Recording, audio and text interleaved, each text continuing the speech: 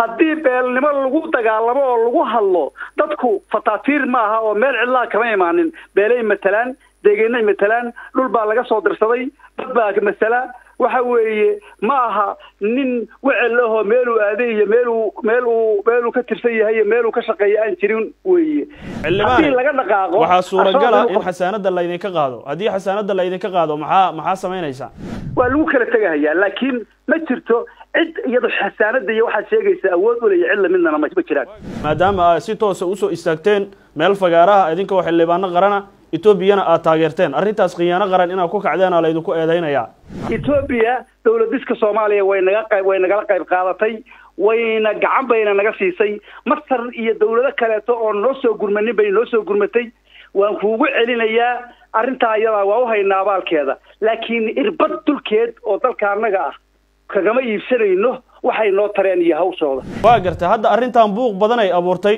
Adinka inaad raaligelin bixisaan si xaaladda dalku u degto maxaa diidahay adeer ma jirto. Annagaa in la raaligeliyo annagu ma dad baan dilay ma dad baan handalay adeer hal qodob oo oo qarandumisnimaha ama dawladda soomaaliya wax u dhimahaya ama midnimada iyo wadajirka wax u dhimahaya ama cid gaara taageeraysa haddii laga helo waa jirtaa laakiin ma jirto. Bismi illaahi raxmaan iraxiim assalaamu calaykum waraxmatullaahi wabarakaatuhu kulanti wacan oo wanaagsan daawadayaal waxaad ku soo dhawaataan waraysi kooban oo halkan aan kula yeelanayno isagoo qadka telefoonka ku jira xildhibaan axmed mashruuc oo ka mid ah xildhibaanada golaha shacabka. Xildhibaanku wuxuu ka mid ahaa xildhibaano dhowr iyo labaatana oo dhowaan ka hor hadlay xarunta golaha shacabka ee villa hargeysa iyaga oo taageeray.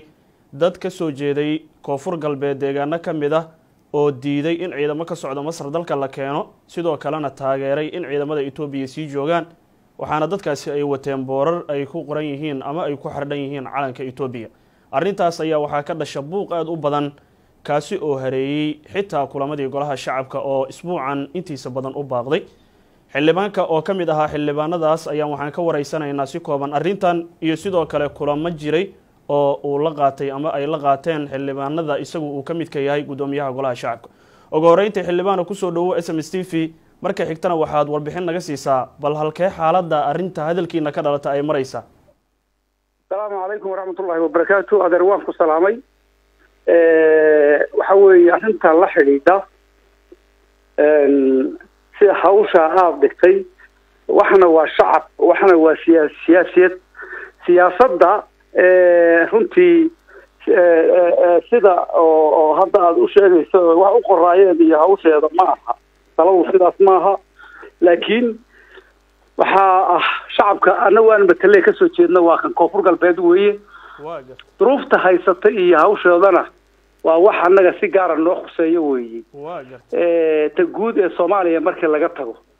Marka waxa weeye annaga waxa aan horta ka hadalay waxay ahayd shacabkaas oo dayac ku dhacay oo intii dawladdan ay jirtay iyo intii ka horreysayba dalka waxaa soo gelaysay wax badan oo qalab ciidan ah oo hub ah oo tignica ah oo la isku difaacay ciidamo la dhisayay. Ciidamadiina aagagii dagaalka ka socda cishooyinkii hore oo runtii xaafado kale iyo reeraha kale hadda qaylihayo u badan ayaa ayaa la geynayay dadkii oo runtii aan isdifaaci karin haddii la yidhaahdo etoobiya ha baxdo.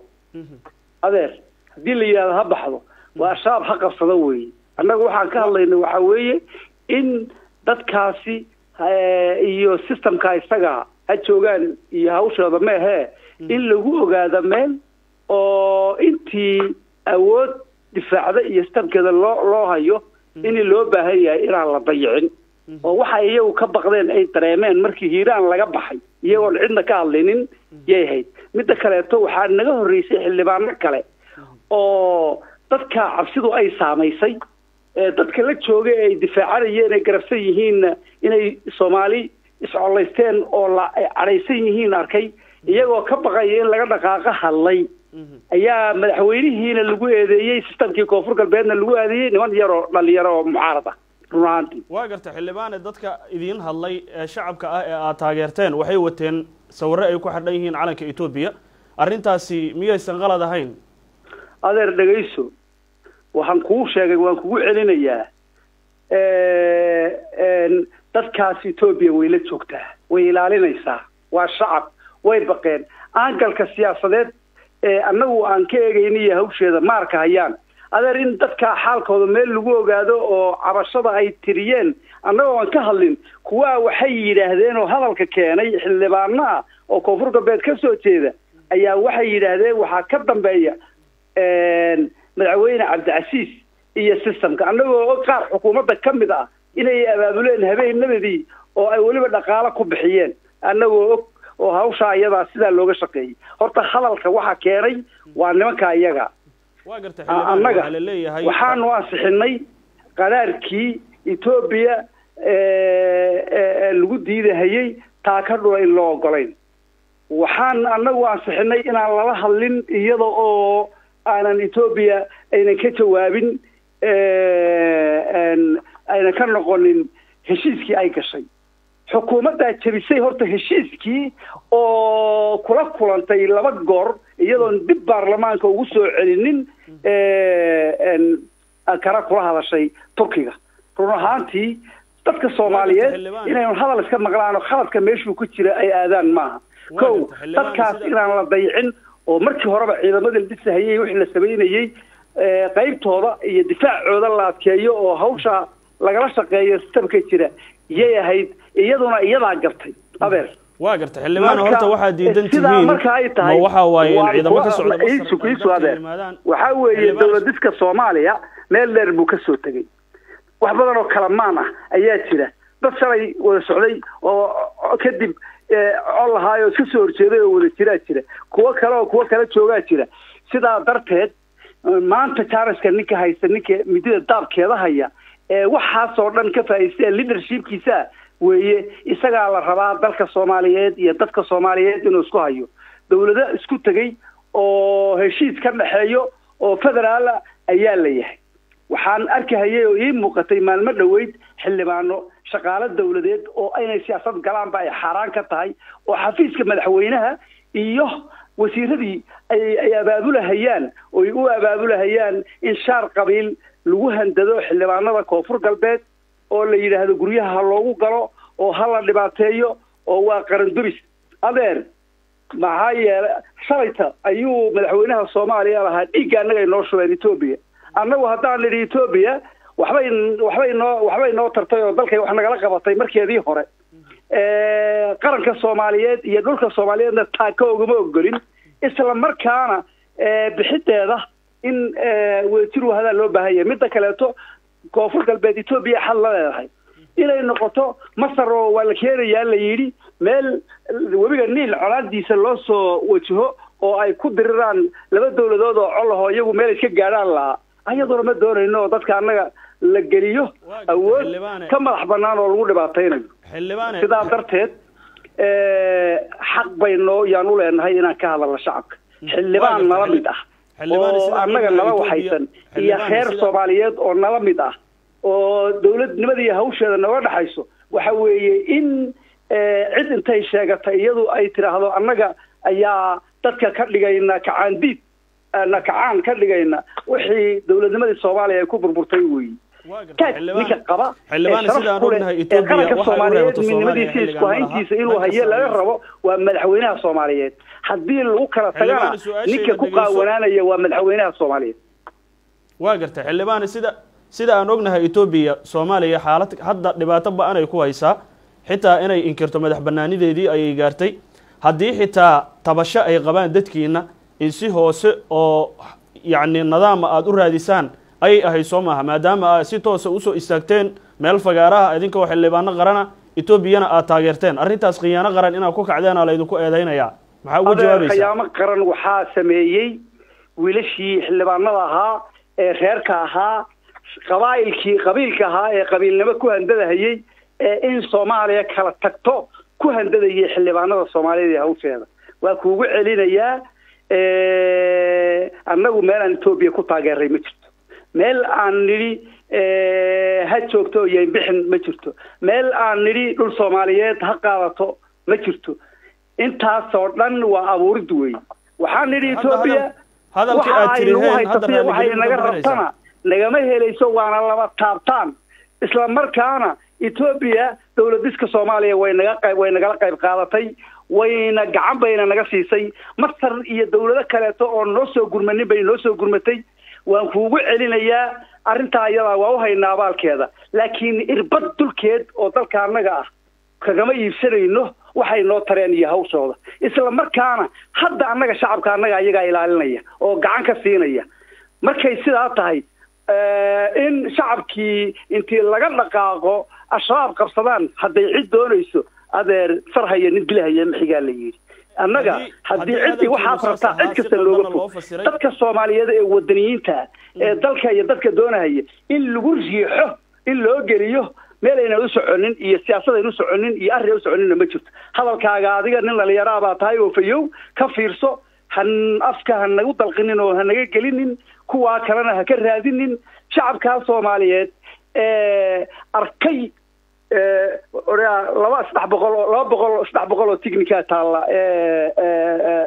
hiiraan hadday ka baxeen way sii joogi karaan oo way sifaaci karaan. Kuwanuna bakool oo dhan saddex baabuur oo fadhi kudirira taalla. Dhaqaaqo waxaa suuragala in xasaanada laydinka qaado. Haddii xasaanada laydinka qaado maxaa maxaa samaynaysaa? Adeerna lama qaadi karo xasaanada qoysna male wiilna male cidna male dawlad dhexe oo naga dhexaysaa jirta wadajirka haddii la waayo waxa weeye koonfur galbeed baa nala yihahdaa state baan nahay dad baan leenahay dal baan leenahay waa lagu kala tegahayaa. Laakiin ma jirto cid iyado xasaanada iyo waxaad sheegaysa awood uleya cid lamidnana ma jiraan.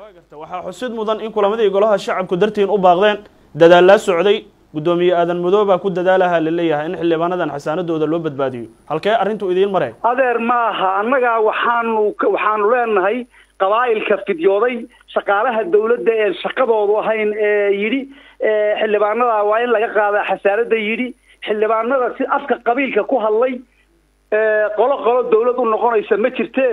Adeer kuwaas in laga qaado tallaabo oo gafkooda iyo hawshooda la keeno iyo xafiisyadii iyo madaxdii abaabushay weeye annaga annaga waxaan leenahay ha laga badbaadiye sheekada ma jiraan. Guddoomiye aadan madoobe waa kulanteen. Maxaa maxaa maxaa maxaa idiin soo baxay? Guddoomiyuhu muxuu idinku yidhi tiimkuu yimid waxay u sheegeen buu noo sheegay annaguna wixii aan tabanaynay ee dhacay ee soomaaliya oo dhan ogeyd ciddii waxgarada dhan ogeyd ee dawladnimada dhaawacaysay ee wadajirka dhaawacaysay ee midnimada dhaawacaysay personal attack ahaa in shacab aan waxba ogeyn iyo dadka laysku diro oo qarandiid laysku xukumo oo laysdhibaateeyo ahayd in wax laga qabtaan ka wada hadalnay oo warbixinta aan ka kala qaadanay. waa gartay hadda arrintan buuq badan ay abuurtay adinka inaad raaligelin bixisaan si xaaladda dalku u degto maxaa diidaya adeer ma jirto annaga in la raaligeliyo annagu ma dad baan dilay ma dad baan handalay adeer hal qodob oo qarandumisnimo ama dawladda soomaaliya wax u dhimahaya ama midnimada iyo wadajirka wax u dhimahaya ama cid gaara taageeraysa haddii laga helo wa waa jirtaa laakiin ma jirto. History haddaan ka hadallo jiray oo madaxweynaha soomaaliya ka helay oo cid walba ka hadashay na waa waa waa wax jiro oo la soo maray. Waxa taagan haddana inaan ka hadalno sidii kale guurkuu ku imaan lahaa iyo nidaamkii iyo dadkaasu sidii ammaankooda loo sugi lahaa oo xukuumadda mas'uulka ahe ay u sugi lahayd qorshaheeda iyo hawsheeda. Weeye waxaan ka wada hadalay dadkaasna in madaxda koonfur galbeed aanan lagu jaayfaynin lagu aflagaadaynin waxayna ka shaqaynin madaxweynaha oo fasaxba ku maqan oo carruurtiisa turki ka jira. Dad cabsaday oo dhinacoodoo laga baxay arkay mu'aamarad xildhibaano wada ay ka shaqeeyeen oo ka hadleen weeye waxaan ka hadalnay. Dadka kale ee hadlay ee iyagu libaaxyada ahee dawladda soomaaliyeed iyagu matalaya ee shaarka qabiil ku handadahaya. Kuwaa weeye kuwa qaladka leh ee qarandumiska haddii cid la qabanayo haddii cid maxkamad la saarahayana kuwaasaa la saarahaya. Run ahaantii saa dambayntii ugu dambayntii mudane arrintan deganaantii dalkay sare u kicisay ama qalalaasay abuurtay xitaa sheekadu sheeko qabyaaladeeday gaartay oo in beelo beele la isku ficlo adinka xildhibaano qaranaa tihiin arrintaas ay u degto. fiiri. Haddii beelnimo lagu dagaalamo oo lagu hadlo dadku fataatiir maaha oo meel cidlaa kama imaanin. Beelay matalaan deegeennay matalaan dhul baa laga soo dirsaday dad baa masala waxa weeye ma aha nin wecel ahoo meeluu aaday iyo meeluu meeluu meeluu ka tirsan yahay iyo meeluu ka shaqeeya aan jirin weeye.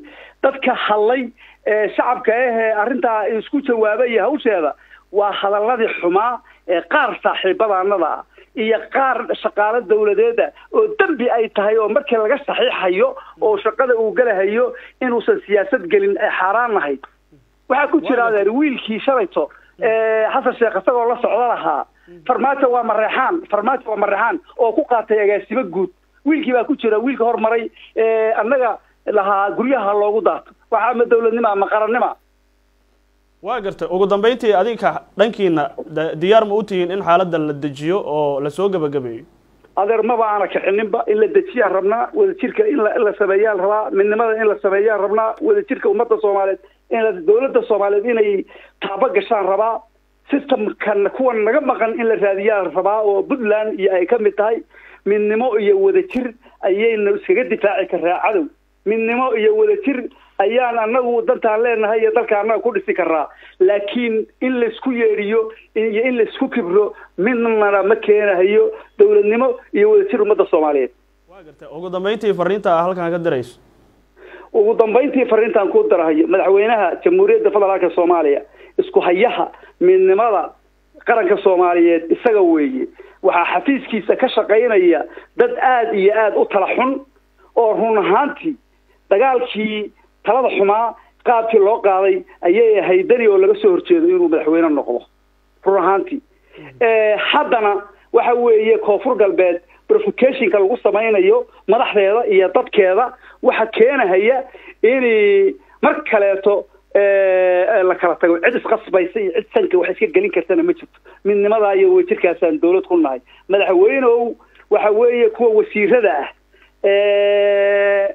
maalin walba le madaxweyneaan noqonayna lacagta ku bixinaya fudnida ku samaynaya xildhibaanada ku abaabulahaya ee adiga gacantaada midiga ka qabo midnimada iyo wadajirka iyo dawladnimaday dhaawacaysaa mana aqbalayno inay koonfur galbeed la farafareeyo la xumeeyo maaragtay madaxdeeda maaragtay maaragtay tireed lagu noqdo. Ma doonayno inay qofka hadle ee ra'yigiisa ka hadla la yidhaahdo waa wixii shalay aad ka qeeliyeysay waa wixii shalay aad ka calacalaysay waa wixii aad ka hadlaysay in la yidhaahdo waa cadow. Ma doonayno shalay sidaad u lahayd madaxweynow nin cararay oo tegey wuxuu u tegey nin kale oo walaalkii abuu ka cararahayay. Annagu etoobiyana uma soconno meel kalena uma soconne ha nagu khasbin oo ha nagu riixin inaan kaa cararo waa gartay aadan kuugu mahad celinaynaa xildhibaan. Wasalaamu calaykum waraxmatullahi wabarakaatu wacalaykum salaam. Saaxiibayaalkaasina wuxuu ahaa xildhibaan axmed mashruuc oo ka mid a golaha shacabka ee baarlamaanka dalka. Xildhibaankuna sidoo kale wuxuu xubin ka ahaa xildhibaano dhowaan lagu eedeeyey inay taageereen etoobiya islamarkaana ay ka soo horjeesteen in ciidamo ka socda masar dalka la keeno. Waraysigaas ayaan la yeelanay xildhibaankuna mar kale aada iyo aad ayuu u mahadsan yahay. Guud ahaana halkaasaan ku hakinaynaa waraysigeenii tan iyo kulankeena kan xiga nabadgelyo shirkadda beko waa shirkadda ugu weyn ee bixisa adeegyada korontada soomaaliya. Beko waxay koronto siisaa inta badan koonfurta soomaaliya sida banaadir jubbaland hirshabeelle iyo koonfur galbeed soomaaliya. Beko waxay siisaa adeegyo koronto oo dhammaystiran. Toddoba iyo tobanka degmo ee gobolka banaadir iyo goobaha ugu waaweyn ee magaalada muqdisho sida eeraboorka aadan cadde ee muqdisho dekedda muqdisho iyo dhammaan safaaradaha iyo hay'adaha caalamiga ah ee ku yaalla magaalada. Wehelka dhigo beko oo mar walba isticmaal